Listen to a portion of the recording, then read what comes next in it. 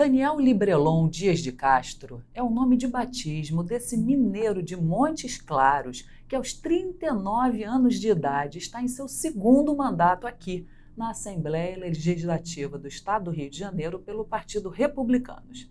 Antes de ocupar um cargo no Parlamento Fluminense, ele era um evangelizador dedicado aos projetos de recuperação da dignidade das pessoas mais vulneráveis, como moradores de rua e dependentes químicos nesta sua reeleição, com quase 81 mil votos para esta legislatura, o deputado Librelon ainda acumula a função de líder da bancada do Republicanos aqui na Lerge. Seja bem-vindo, deputado, ao nosso programa. O senhor, que além de todas essas funções para as quais foi eleito, ainda atendeu o convite do presidente Rodrigo Bacelar e, portanto, está à frente do Parlamento Juvenil. Essa é uma posição nobilíssima, né? Porque Quanto mais cedo se começar a ter participação dos jovens na política, mais rápido vamos ter cidadãos mais conscientes, não é, deputado? Verdade, Cláudia. É um prazer estar com todos nesta oportunidade de explanar um pouco sobre o nosso trabalho, sobre o nosso mandato. Nesse segundo que nós recebemos a confiança do povo fluminense para continuar representando o que nós fizemos e o que podemos agora aprimorar no nosso primeiro mandato. E esse desafio que o presidente ele nos concedeu exatamente resgatar a credibilidade política, o envolvimento político na vida do jovem, é, que a gente vê muitos jovens hoje não querendo ou não se interessando, podemos assim dizer, da vida pública. Então, eu, como jovem, que assim sou, procuro investir, procuro agregar na vida da juventude, falando do nosso futuro, a juventude ela precisa sim entender um pouco melhor como funciona a casa, como funciona o parlamento, e isso foi de grande é, alegria da minha parte em receber essa responsabilidade para que possamos entregar para a população fluminense e para os jovens esta oportunidade no Parlamento Juvenil através da experiência que temos no nosso mandato.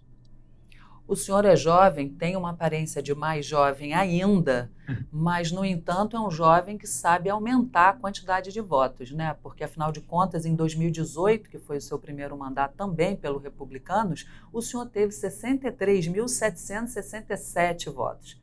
E agora, na última, nessa legislatura que está em curso, o senhor teve quase 81 mil votos, o que não é, assim, a coisa mais fácil de se conseguir. Como é que foi? É por causa do seu mandato humanizado? Quais, quais foram as, as medidas que o senhor tomou para conseguir essa quantidade expressiva de aumento de votos?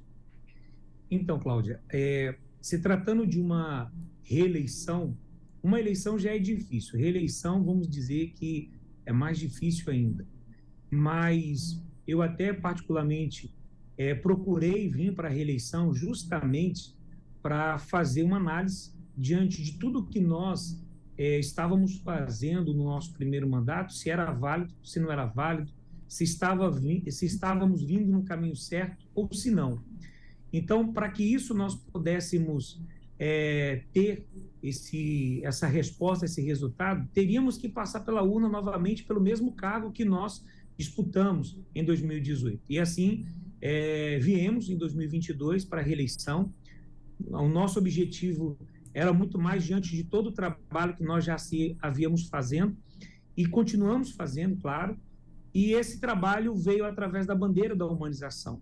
Quem conhece um pouco do nosso mandato, até da nossa vida, não pública, porque eu não, não tinha vida pública, né? O meu primeiro mandato, nunca fui vereador, nunca fui secretário. Pelo contrário, os meus trabalhos sempre foram voltados é, na realização de ações sociais, com pessoas invisíveis para a sociedade, pessoas em situação de rua, jovens é, envolvidos na marginalidade.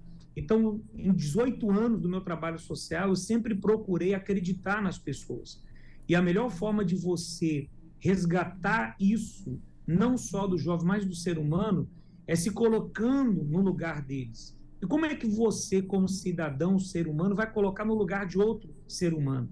Humanizando Humanizar é isso. A gente sabe que o tempo está corrido, as coisas estão acontecendo numa velocidade fora do comum e muitas das vezes o lado humano ele fica de lado.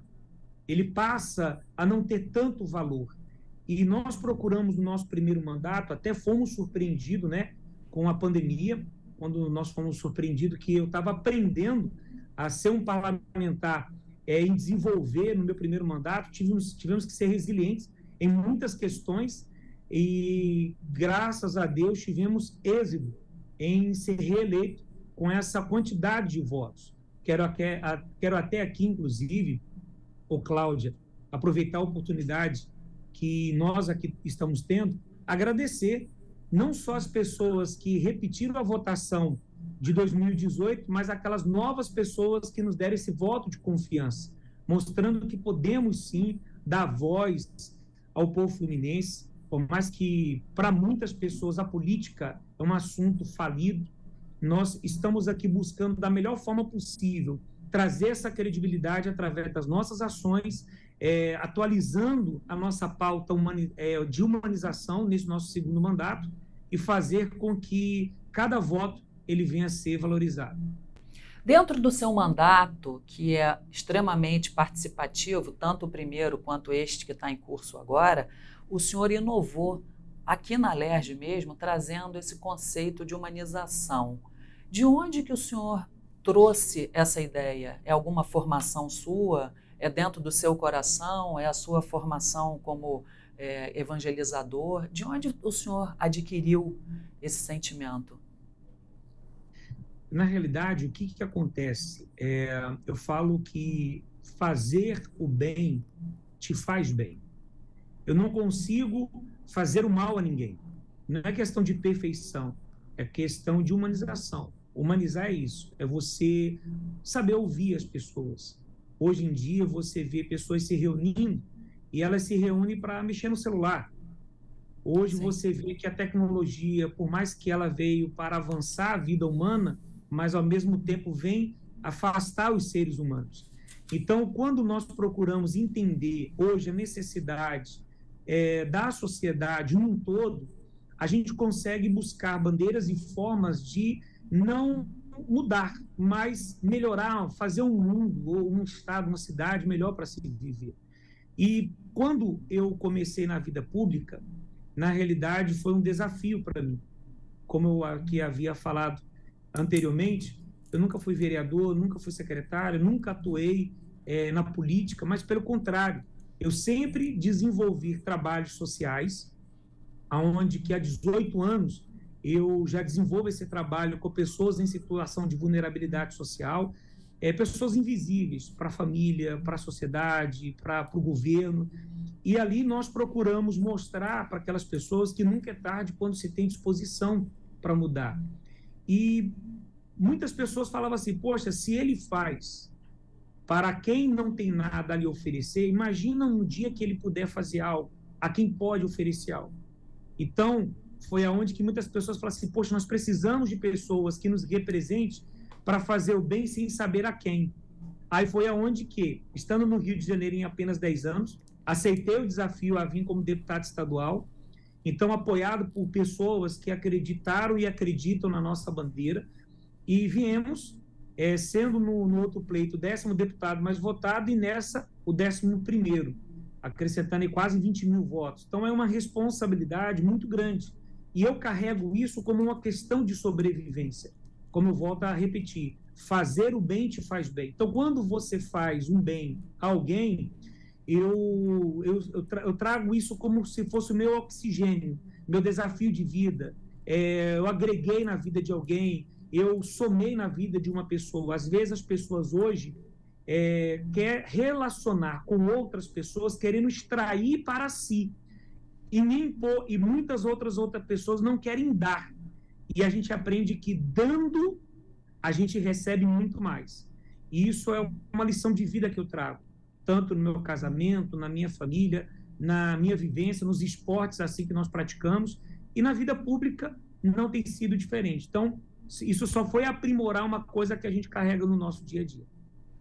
O senhor se refere ao seu primeiro mandato e esse agora como ah, bastante desafiadores, né? Porque o senhor não é oriundo da classe política, né? Como o senhor fala claramente. Agora, nessa sua vida pública, o senhor já no primeiro mandato já teve essa atuação tão diversificada, com uma transversalidade de temáticas enorme. Por exemplo, o senhor presidiu as frentes parlamentares de humanização, de defesa do produtor rural, de prevenção ao uso de drogas. Agora, nesse mandato, o senhor está no Bloco Aliança, que é uma união de 13 deputados governistas formando a segunda maior bancada aqui da LERJ. Quer dizer, como que o senhor atua em tantas frentes, com tanta capilaridade, sendo uma pessoa, né, um, um, cidadão que não vem oriundo da política. O senhor pegou essa experiência, como é que foi isso? Eu tenho a visão e o pensamento que a política ela é criada por relacionamentos. Não pode haver uma distância nem entre parlamentares, independente da bandeira partidária, até porque esses 13 deputados, eles são, eles vieram para o bloco vindo de seis partidos diferentes. E além de estar como líder desse bloco, eu estou como líder do Republicano, que é o partido a qual fui reeleito. Então, nós sempre procuramos não criar muros, e sim construir pontes. De que forma? Falando, mas também ouvindo. E esse nosso sujeito conciliador, é, mediador, veio fortalecer, fomentar tanto os novatos que entraram, podemos assim dizer, no primeiro mandato como deputado estadual, como os veteranos que já estão aqui no quinto, no terceiro, no segundo mandato, como assim eu. E, isso para mim foi gratificante, em ser escolhido por eles para estar à frente desse grande desafio. Para mim é uma captação de experiência de grande relevância para o meu mandato, para a minha vida pública. E eu quero e pretendo sair desse grande desafio com muita experiência e agregar para o povo fluminense. O senhor foi eleito por unanimidade pelos seus pares, né? Sim.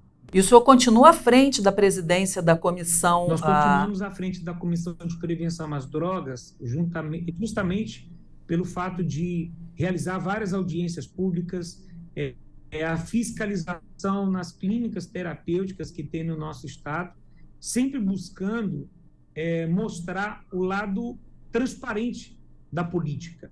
Quando nós abrimos é, os sites de notícias, ou ligamos o rádio, a TV para ouvir os noticiários, sempre procuram mostrar o lado negativo da política. Então, se nós buscarmos entendermos que estas bandeiras, que as nossas atuações precisam ser é, representadas, valorizadas, conhecidas, até porque é, a mentira sendo falada 100 vezes, ela passa a se tornar verdade. E na falta da verdade prevalece a mentira. Então não podemos calar diante dos desafios que temos pela frente.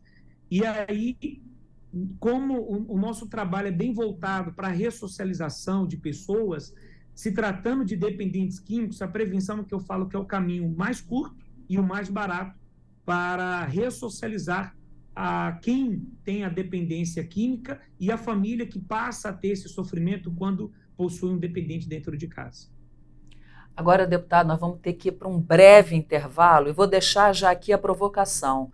Nós já falamos de várias comissões e de várias presidências que o senhor assumiu, mas não param por aí, não. Eu vou deixar o nosso espectador já curioso. O senhor também é vice-presidente da Comissão de Economia, Indústria e Comércio e está como membro suplente da Comissão de Normas Internas e Proposições Externas e como suplente da Comissão de Orçamento. Mas isso nós vamos deixar para depois do intervalo. O deputado já fica sabendo que vai ter que contar tudo isso para a gente.